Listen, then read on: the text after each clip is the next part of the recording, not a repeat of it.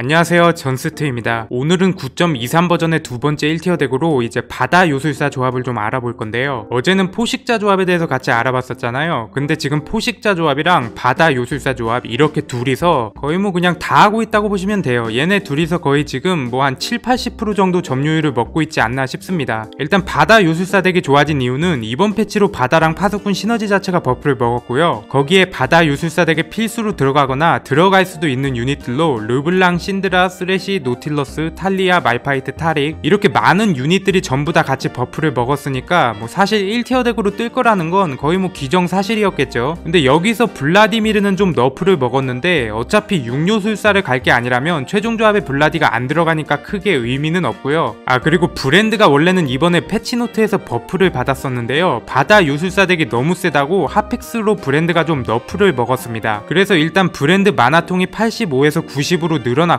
데미지도 약간 좀 줄었는데요. 일단 얘네 말로는 대략 17% 정도 브랜드의 데미지 기대값이 hotfix 이전보다 감소했다고 보시면 된다네요. 밸런스 조절보다 이미 알려진 버그들이나 좀 hotfix를 고치지. 뭐 아무튼 간에 일단 hotfix를 먹었으니까 변동사항이 있나 좀 제가 봤는데요. 바다 요술사 덱은 뭐 그냥 여전히 괜찮은 것 같습니다. 그럼 이제 바다 요술사 덱의 빌드업 방법을 같이 알아보겠습니다. 일단 6렙을 찍기 전에는 그냥 숲드루이드 요술사 쪽이나 바다 요술사 쪽 유닛으로 빌드업을 좀 하시는 게 가장 이상 적인데 각이 좀 안 나온다면 그냥 대충 이성 붙는 거 아무거나 넣으면서 하셔도 됩니다. 어차피 6렙 이전의 조합들은 크게 의미가 없거든요. 그렇게 이제 6렙을 찍게 되면 일단 크게 두 가지 루트가 있는데요. 숲드루이드 요술사나 바다 요술사가 있습니다. 먼저 숲드루이드 요술사 조합부터 알아보자면 이런 식으로 이제 숲드루이드에 이바다와 3 요술사를 같이 챙겨주는 게 정석이고요. 노틸러스 자리에는 그냥 쓰레시를 넣어도 되고 아니면 블라디미르를 앞으로 뺀 다음에 3요술사 효과를 받는 탈리아를 넣으셔도 됩니다. 뭐 아니 면은 그냥 대충 1코짜리 이성 붙은 거 아무거나 그냥 넣으셔도 되니까 그냥 저 자리는 공석이라고 생각하시고 적당히 챙겨주세요. 다음으로는 바다 요술사 조합인데 보시다시피 시너지가 상당히 깔끔하면서도 앞라인이 굉장히 튼튼하고요. 6렙의 말파이트를 못 드셨다면 역시 블라디미르를 앞으로 빼신 다음 맵이 대지 속성으로 걸렸다면 키아나를 넣어서 2대지를 받는 것도 괜찮고요. 아니면 그냥 3요술사 효과를 받는 르블랑 베이가 브랜드 중에 아무거나 하나 더 넣어주셔도 되고 뭐 그것도 아니면 대충 1코짜리 이성 붙은 거 아무거나 그냥 넣으시면 되겠죠. 이렇게 이제 7렙을 찍게 되시면 6렙이랑 똑같은 선택지에다가 3요술사를 챙길 건지 아니면 6요술사를 챙길 건지 선택지가 하나 더 생기는데요. 먼저 숲드루이드 요술사 조합부터 알아보자면 그냥 6렙 조합에서 쓰레시를 추가해가지고 사바다랑 이파수꾼을 받으시면 됩니다. 이게 지금 쓰레시랑 노틸러스를 같이 써주는 게 이바다랑 이파수꾼이 같이 챙겨지면서 앞라인도 굉장히 튼튼해지기 때문에 그냥 지금 성능이 정신이 나갔어요 얘네가. 그래서 꼭 바다 요술사 조합이 아니더라도 쓰레시 노틸러스 이렇게 세트로 많이 챙겨가더라고요. 그냥 둘만 딱 넣어도 버려지는 거 없이 시너지가 깔끔하게 떨어지면서 모든 아군 유닛한테 마나 회복도 좀 넣어주고 또 이게 시즌2에서는 마땅히 앞라인에 세울 만한 게 애매해서 공수 밸런스를 맞추기도 힘든데 그냥 뭐 쓰레시 노틸러스로 앞라인에 세우면 되거든요. 뭐 아무튼 간에 이렇게 맞추면 7렙 기준의 숲드루이드 요술사 조합이 완성되는데요. 이제 이 조합에 주의하실 점은 7렙 정도면 늑대가 끝났다고 보시면 되는데 이게 숲드루이드는 원래 늦어도 늑대쯤에는 좀 손절을 해야 되 잖아요. 힘이 빠지니까. 숲드루이드 가지고 reroll로 삼성작을 노릴 것도 아니고요. 그쵸? 그리고 이번에 삼성 마오카이랑 아이번이 또 nerf를 먹어가지고 그래서 얘네는 8렙 조합이 없고 그냥 딱 이렇게 7렙 조합까지만 있으니까 바다 요술사로 갈아탈 준비를 미리미리 해두셔야 됩니다. 7렙에 오기 전부터 바다 요술사로 갈아탈 만한 유닛들을 슬슬 모아주시고 완벽하게 체제 전환을 하기 전에만 잠깐 이렇게 쓰시는 게 좋아요. 자 그럼 다음으로는 이게 그 바다 요술사 조합으로 3요술사를 챙겨가는 조합인데요. 이번에 buff를 먹고 파수꾼이 좀 좋아져가지고 3요술사의 4파수꾼을 챙겨가는 게 꽤 괜찮은 것 같아요. deal은 뭐 보시다시피 딱 봐도 별로 안 나오는데 파수꾼은 그냥 약간 CC기 컨셉으로 밀고 가시는 게 좋거든요. 바다로 계속 마나 채워주면서 CC기 계속 굴려주고 앞라인 유지력으로 공수 밸런스도 같이 챙겨가니까 이 정도면 뭐 나쁘지 않은 조합입니다. 아 그리고 브라움 자리에는 이성 붙은 나서스나 오른으로 4파수꾼을 챙겨주셔도 괜찮은데 이게 쓰레시 노틸러스 말파이트 이 정도면 앞라인은 충분하니까 솔직히 꼭 4파수꾼에 연연하실 필요는 그닥 없습니다. 브랜드 같은 거 나오면 시너지는 안 이쁘더라도 그냥 사요술사에 3파수꾼으로 가는 게 더 나을 수도 있어요. 다음은 또 하나의 선택지라고 볼 수 있는 6요술사 조합인데요. 일단 6요술사를 7렙에 만들려면 요술사의 모자가 필요합니다. 근데 여기서 좀 주의하셔야 될 거는 이게 노틸러스가 지금 요술사를 주면 스킬 한 번이 씹히는 버그 같은 게 좀 있습니다. 스킬 나가는 소리 자체는 두 번이 나기는 하는데 이게 스킬 delay 설정을 안 넣은 건지 스킬이 그냥 바로 연달아 두 번이 나가 나 가버려서 나미 같은 경우는 해일이 약간의 delay를 두고 두 개가 나가는데 일단 노틸러스는 지금 스킬을 동시에 두 번 쓰면 하나는 씹히고 있습니다. 근데 그렇다고 또 쓰레시한테 요술사 모자를 주자니 이게 뭐 나쁜 건 아닌데 뭔가 좀 아쉽거든요. 그래서 7렙의 6요술사는 별로 추천하지 않지만 만약에 요술사 유닛들이 전부 잘 떠서 6요술사로 가실 거라면 좀 아깝긴 한데 쓰레시한테 요술사 모자를 주시거나 아니면 그냥 잠깐 사바다를 깨버리고 말파이트한테 주시는 게 더 좋아요. 어차피 뭐 그냥 7렙 조합으로 끝낼 것도 아니고 8렙은 무조건 갈 거니까 그때 이제 다시 쓰레시 노틸러스 콤보를 챙겨주면 되거든요. 자 그렇게 이제 8렙을 찍게 되면 역시 3요술사로 갈 건지 아니면 6요술사로 갈 건지로 나뉘게 되는데 만약에 3요술사로 가실 거라면 이런 식으로 조합을 맞춰주시는 게 좋습니다. 요술사가 지금 굉장히 많기 때문에 mirror전을 생각했을 때 신비술사를 좀 챙겨주면 아무래도 좀 상성상 유리한 것도 있고 보시면 유닛들 value가 좋아가지고 후반까지 가도 막 힘이 떨어지고 그런 느낌은 별로 안 듭니다. 원래 이게 이번 패치 전까지는 약간 바다 요술사는 그냥 무조건 6요술사를 챙기는 게 좋다라는 느낌이 좀 들었었는데 왜냐면 이게 어차피 앞라인을 좀 챙겨주려고 해도 그렇게 막 튼튼한 느낌이 들고 그러지는 않아가지고 어차피 tanking을 못 챙길 거면 차라리 그냥 딜에 몰빵해가지고 내가 죽기 전에 상대를 먼저 죽인다는 마인드로 6요술사를 많이 갔었거든요. 근데 이게 지금 원래 좋았는데 그냥 단순하게 연구가 안 됐던 건지 아니면 진짜로 buff 때문에 좋아진 건지 아무튼 앞라인이 꽤 괜찮아져서 지금은 6요술사를 챙기는 것보다 이렇게 그냥 3요술사를 챙겨주는 게 더 승률이 잘 나오고 있습니다. 상위권 기준으로요. 그래서 만약에 바다 요술사로 가실 거라면 이 조합을 맞추시는 게 가장 좋다고 보시면 되겠습니다. 나미가 5코스트라서 빠르게 안 잡히신다면 나미가 나올 때까지는 그냥 블라디를 넣어서 사바다를 챙기셔도 되고 상대 조합에 마법딜이 많다면 이바다로 낮추더라도 소라카로 신비술사를 챙기셔도 되고 아니면 그냥 블라디랑 소라카를 둘 다 넣고 사바다랑 신비술사를 둘 다 챙겨주면서 탈리아나 브랜드 중에 하나를 빼는 것도 방법입니다. 다음으로는 6요술사를 선택했을 때의 조합인데 일단 6요술사는 무조건 요술사의 모자가 있어야 된다고 봅니다. 시너지 자체는 앞에 쓰레시 노틸러스 놓고 그냥 요술사 6마리 넣으면 요술사 모자가 없이도 8렙에 완성이 되긴 하거든요. 근데 아무리 그래도 8렙까지 갔는데 앞라인에 쓰레시 노틸러스 이렇게 둘만 떡하니 세워놓으면 앞라인이 그냥 버티지를 못해요. 그래서 6요술사를 가실 거라면 말파이트한테 요술사 모자를 주고 아무리 못해도 쓰레시 노틸러스 말파이트 이렇게 3명을 앞라인에 세우는 게 6요술사의 최소 조건이라고 봅니다. 근데 6요술사는 원래 브랜드가 딜을 다 해줘야 되는데 이번에 hotfix 때문에 브랜드의 데미지 기대값이 17% 떨어졌다고 했잖아요. 3요술사는 애초에 극딜보다는 CC기의 유지력과 꾸준한 누적딜의 컨셉이라 크게 영향을 안 받거든요. 근데 6요술사는 극딜로 빠르게 쓸어버려야 하는 컨셉이라 상당히 영향을 많이 받았다고 보시면 되고 웬만하면 그냥 3요술사 루트로 타시는 걸 더 추천드립니다. 여기까지가 일단 바다 요술사 조합의 빌드업 과정이라고 보시면 되는데 그럼 이제 이 조합의 핵심 유닛과 아이템을 같이 알아보겠습니다. 먼저 말파이트인데 얘를 핵심 유닛이라고 다루게 될 줄은 지난 패치까지만 해도 상상도 못했네요. 아무튼 말파이트는 바다 요술사 덱의 앞라인을 담당하는데 역시나 tanking템 중에서 가장 좋은 얼건이 베스트라고 보시면 되고 얼건은 뭐 항상 더 많으면 많을수록 좋습니다. 막 두 개, 세 개 껴주셔도 상관없어요. 추가적으로는 얼건이랑 비슷한 느낌으로 얼심을 가져가거나 유령무이나 용발톱으로 특정 대상을 상대로 한 tanking을 챙기는 것도 괜찮고 이게 바다 시너지가 자동으로 마나를 채워주는 거라서 어그로도 빼면서 시간도 벌 겸 수호천사를 말파이트한테 주면 괜찮더라고요. 막 수호천사가 있음으로써 스킬 cancel을 방지한다든지 그런 핵심적인 역할을 하는 건 말파이트한테는 아닌데 보통 수호천사를 주면 말파이트가 아무리 못해도 평소보다 스킬을 한 번은 더 굴리더라고요. 그래서 CC기용으로 괜찮은 것 같아요. 참고로 말파이트는 노틸러스랑 포지션이 완벽하게 겹칩니다. 만약에 말파이트가 너무 늦게까지 잘 안 붙어서 템을 다른 앞라인 유닛한테 줘야 겠다 이러시면 노틸러스한테 주시면 돼요. 대신 노틸러스한테는 굳이 유령무이 용발톱 수호천사는 안 줘도 되고 그냥 딱 얼건이랑 얼심 정도만 주는 게 좋은 것 같아요. 다음으로는 브랜드인데 바다요술사 덱의 핵심 딜러 유닛이죠. 일단 모렐은 무조건 주시는 게 좋습니다. 브랜드가 이번에 hotfix로 딜이 좀 떨어지긴 했는데 어차피 모렐은 체력 비례 고정 데미지라서 그냥 뭐 아무런 상관이 없고 치감은 혹시 모르니까 무조건 하나 정도는 챙겨주는 게 좋은 것 같아요. 그래서 모렐의 효율이 좋은 브랜드한테 반드시 챙겨줍시다. 다음 으로는 브랜드가 스킬을 더 굴리라고 마나 수급용 쇼진을 주는 게 좋은데 일단 바다 시너지 때문에 첫 스킬을 굴리기도 다른 덱보다 수월한 게 있고 hotfix로 딜이 떨어진 거 말고도 브랜드 마나통이 약간 더 커졌는데 쇼진은 뭐 어차피 마나통에 비례해서 채우니까 바뀐 게 없고요. 요술사 덱으로 상성상 좀 안 좋다고 볼 수 있는 맹독 같은 경우도 최대 마나를 올리는 형식으로 들어오는 시너지라서 역시 쇼진은 영향을 안 받습니다. 그리고 데캡이나 복원을 줘서 딜을 챙기는 것도 괜찮은데 3요술사 덱으로 가실 거라면 너무 막 억지로 우선순위를 얘네한테 두실 필요는 없습니다. 왜냐하면 그냥 계속 CC기 걸면서 유지력으로 승부하다가 전투가 길어지게 되면 모렐로 불 붙인 것만으로도 충분히 딜이 나오기 때문에 굳이 막 브랜드한테 딜템을 이악 물고 챙겨주는 것보다는 선택권이 있으시다면 앞라인에 tanking템을 챙겨주고 유지력을 늘리는 게 더 나아요. 아 그리고 브랜드의 딜러 포지션은 신드라랑 겹칩니다. 신드라 삼성각이 빠르게 나오고 브랜드가 죽어라고 안 뜨는 판은 그냥 빠르게 삼성 신드라한테 템을 주고 연승 운영으로 가시는 것도 괜찮아요. 그리고 이제 요술사의 모자 같은 경우는 육요술사로 갈 게 아니라면 솔직히 이제 막 억지로 만들 필요까지는 없다고 보시면 되고요. 혹시 뒤집개가 나오거나 완품 초밥집에서 나온다면 말파이트나 나미 정도한테 주시면 되겠습니다. 오늘은 9.23 버전의 두 번째 1티어 덱으로 바다 요술사 조합들을 좀 알아봤는데요. 딱히 삼성작을 안 해도 유닛들의 value 자체가 높기 때문에 덱 파워가 괜찮아서 그런지 지금 제일 많이 보이는 조합입니다. 그럼 저는 이제 다음 영상에서도 유익한 정보로 찾아뵙겠습니다. 유익하게 보셨다면 구독과 좋아요 부탁드립니다. 영상은 편집 작업이 끝나는 대로 보통 오전에 고정적으로 업로드 됩니다.